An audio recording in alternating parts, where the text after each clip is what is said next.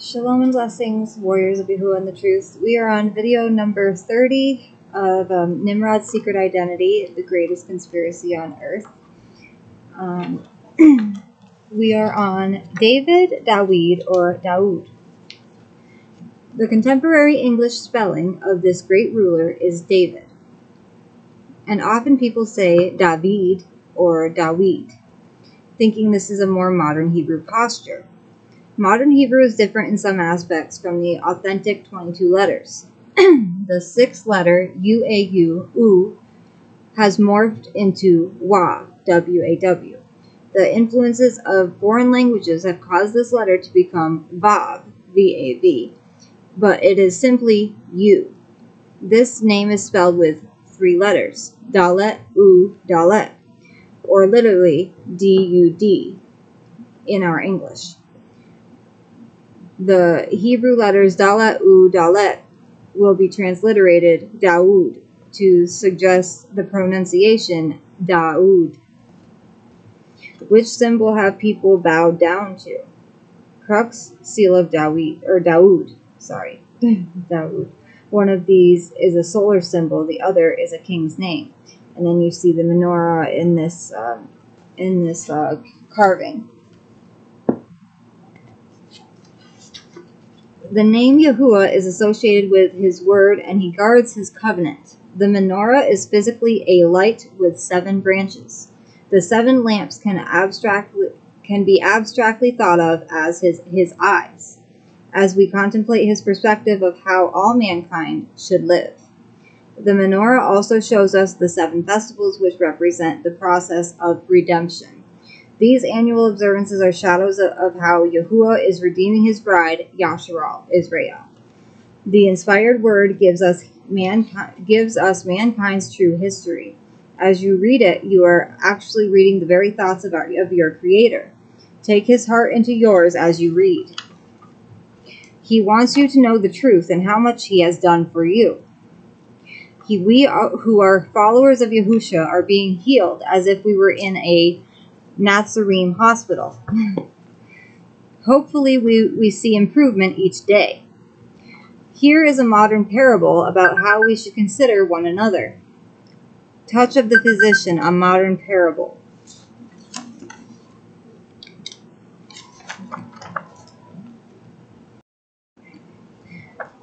All right, the touch. Parables are dark sayings. The meaning of the components is hidden so that comprehension is not possible for outsiders to interpret the parable properly. The components of a parable, when properly revealed, enable the hearer to interpret the meaning. Meaning of symbols in this parable hallmark, outward sign or signal, family crest, primary trait. Name, the identity that specifically defines someone apart from all others. Leper, a sinner, slowly dying a horrible death, and this represents every person in this world. Or in the world, sorry. Light, Torah, the words, the instructions of Yahuwah, by, by which every person is to live by. Physicians, the general reference to human teachers of all anti Torah patterns. The physician, Yahusha, the light of the world touch, indwelling of the Spirit of Yahusha, the well of living waters. The touch of the physician. A land was filled with many leprous people, all having spent their wealth on physicians that could not heal them. They were hopeless and turned away from all physicians, considering them to be frauds. As one of the lepers lay dying, he prayed a final prayer that someone be sent to help the others to be cured and live normal, healthy lives. Immediately, a brilliant light enveloped him and a kind of presence came into him. The light brought him joy, peace, and healing. He realized that Yahusha, the creator of all things, had healed him because he prayed for others, not himself. He had learned to love others more than his own life and had been begotten from above by the touch of the physicians. Rising up in complete health of mind and body, the former leper went to share what had happened to him and told everyone the name of Yahusha healed him. Each leprous person who accepted the name of Yahusha received the healing light and arose to continue the work of sharing the name of the physician, who delivers from death and is the light of life. Certain lepers would not accept the words and receive the and received the light, became bitter and envious, and began to malign the former lepers who worked among the leper community. They accused them of all kinds of shameful activities, evidenced by the fact they associated with known lepers. As more and more healthy people heard about the work among the lepers, support for their work came in from all over the world. Kindness, encouragement, and love propelled a great restoration. Love became the hallmark between all those who accepted the light, and they gave praise and honor to the touch of the physician that took away the leprosy of death and brought his life into the darkness of a dying world. Yehukanan 3 16 through 21. For Elohim so loved the world that he gave his only brought forth Son, so that everyone who believes in him should not perish but, but possess everlasting life. For Elohim did not send his Son into the world to judge the world, but that the world through him might be saved. He who believes in him is not judged, but he who does not believe is judged already, because he has not believed in the name of the only brought forth Son of Elohim. And this is the judgment that the light has come into the world, and men love the darkness rather than the light, for their works were wicked. For everyone who is practicing evil matters hates the light and does not come to the light, lest his works should be exposed. But the one doing the truth comes to the light, so that his works are clearly seen, that they have been wrought in Elohim the Nimrod matrix. The first man to be worshipped as a mighty one, or God, was Nimrod. The, the world order is a scheme to make everyone compliant to a Nimrod matrix or mode of conduct. If we are worshiping Yahuwah, we are obeying his commandments. If we are worshiping the Nimrod matrix, we are working much harder.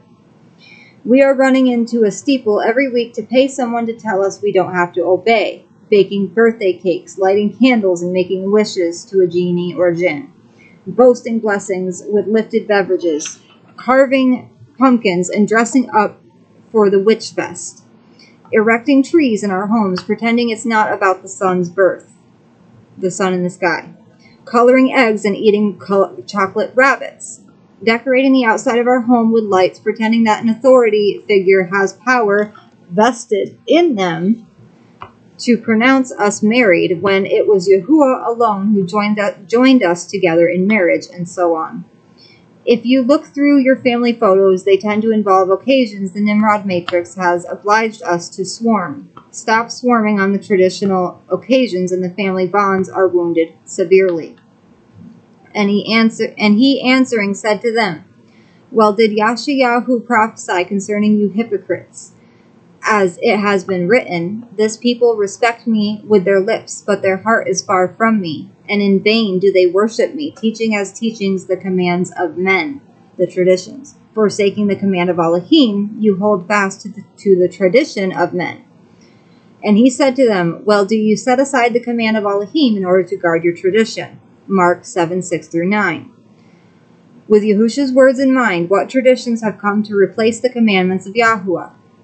Christmas, Easter, Sunday, Halloween, Feast of Dead Saints, that's Halloween, sacraments, steeples, bells, crosses, eating unclean animals, apostolic succession, celibacy, veneration of human remains, images, which is idolatry, holy water, indulgences, Trinitarian ideas, prayer beads, prohibition of true name Yahuwah, Yahusha, prayers to the dead, necromancy, infant baptism, and much more. Men have set aside the commands of Yahuwah for their traditions. The sign of Yunah, three days, three nights, Yunah and Yahusha.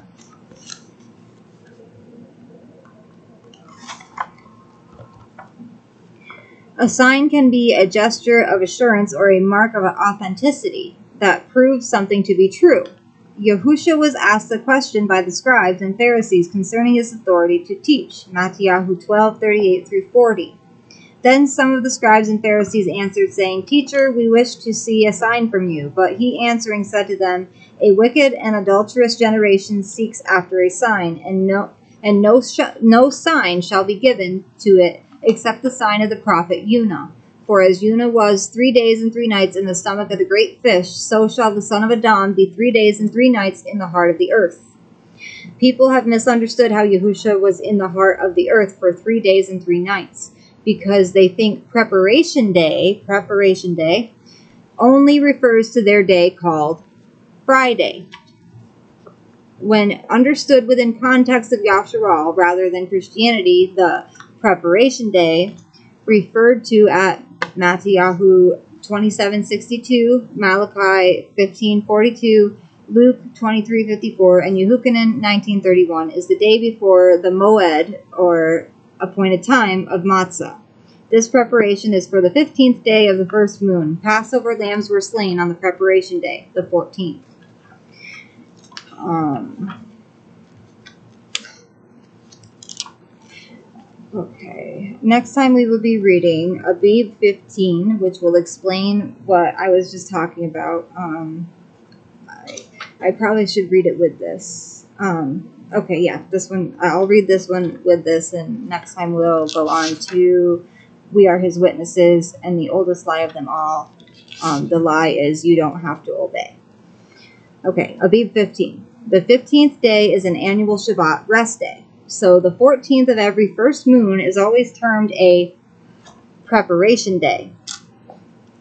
The Greek text captures the idea of the approaching day as high Shabbat. In the words or in the word megas, M E G A S, which is concordance number G3173. And it says uh, Yehukanan 1931. This has nothing to do with the Shavuot weeks of seven days, only the moon. The op- opinion that the term preparation day is always implying a Friday is an error. The actual day of the week is irrelevant. We know the day Yahusha was impaled was the fourth day of the week, several hours after sunrise. This was the Roman Celtic day called Woden's Day, Carefully counting the days and nights from the time Yahusha was entombed, we find the following chain of events. Nakdimon and Yusuf took Yahusha's body from the tree at the close of the day, just prior to sunset, because at the approaching sunset was the first day of matzah, unleavened bread, Abib 15, a high day. Woden's day at sunset began night one. The next sunrise began the day one. Thor's day at sunset began night two. The next sunrise was day two. Frigga day at sunset began night three. The next sunrise began day three. Total three days and three nights. At sunset, as the weekly Shabbat drew to, to a close, Yahusha rose from the dead. The discovery of his resurrection was not until the following morning when Miriam and Migdal arrived on the first day of the week and found the stone had been removed and the body was missing. This morning was first fruits. Yahusha Kohen Hagadol ascended to the Father as the wave sheaf offering. This is why he would not allow Miriam to touch him. He had not yet presented himself as the wave sheaf. His resurrected body was the first fruits offering, what the barley sheaf had represented. Yahusha and the twelve were eating a meal at the beginning of the fourteenth day of the moon, and it was a tears day, evening and night. It was the same this same night he was arrested, and the following morning he was whipped and put on a stake. That afternoon he died as our Passover lamb. The confusion is not helped by the fact that Roman days begin at midnight instead of the proper time at sunset. This misunderstood by Christianity has been the reason that many of us have often said they, they can't count, but it's really only a stronghold of false teaching and being removed from the true faith of the Mashiach for so long. They have a form of piousness, but deny its authority over them. They have no Passover, Festival of Matzah, Shavuot, Yom Teruah, Yom Kippur, nor Sukkot, the shadows of redemption, things to come. By dancing around with their Sunday, they missed the foundation because they did not build on it in the first place. They mo- modeled their observances after sun worshippers, abandoning all the festivals of Yasharal, Yahusha's true bride or wife, casuistry, deceptive reasoning. Um, and then m- memorial of Yahusha's death. The three days and three nights in the tomb are the sign of Yunah, proving by this sign he is the Mashiach. The resurrected body of Yahusha is the offering of first fruits, also known as the wave sheaf offering. This is why it happened the morrow after the Shabbat, what Christians call Sunday morning. The resurrection was rehearsed by the high priests of Yasharal each time they cut the first fruits of barley and waved it. Yahusha made it a reality. He ended the need for ceremonial sin offerings forever. In the first month, on the fourteenth day, of the 14 of the month, between the evenings, in the Passover to Yahuwah, and on the fifteenth day, Abib 15 of this month, is the festival of unleavened bread to Yahuwah. Seven days you eat unleavened bread. On the first day, you have a set apart mikra. You do no, no servile work, and you shall bring an offering made by fire to Yahuwah for seven days. On the seventh day is a set apart mikra. You do, uh, sorry, yeah, it says it again. Okay, you do no servile work. And Yahuwah spoke to Moshe, saying, Speak to the children of Yasharal, and you shall say to them, When you come into the land which I give you, and shall reap its harvest, then you shall bring a sheaf of the first fruits of your harvest to the priest.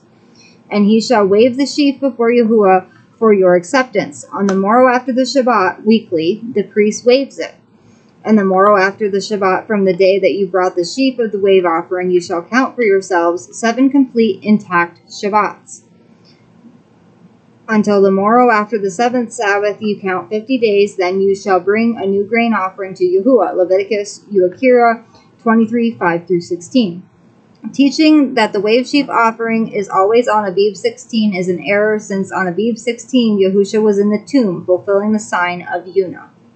Next time we will be reading We Are His Witnesses, the oldest lie of them all, you don't have to obey. Um, Day of Yahuwah. All humanity will be screaming for their lives. Um, and then there will be like one or two more lessons out of this book, and then, well, yeah, one or two more lessons, and then we will be moving on to who is Allah, the Hindu, um, the Hindu connection. Um, I hope you guys enjoyed the lesson today. Um, and now it's time to praise Yahuwah. This is my favorite part. Yahuwah is with me. Yahuwah is for me.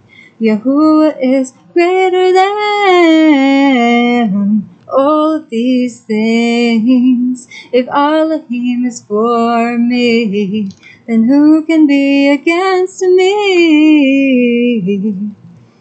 Seek him, and you will find him. Knock, and the door will be opened unto you, unto you.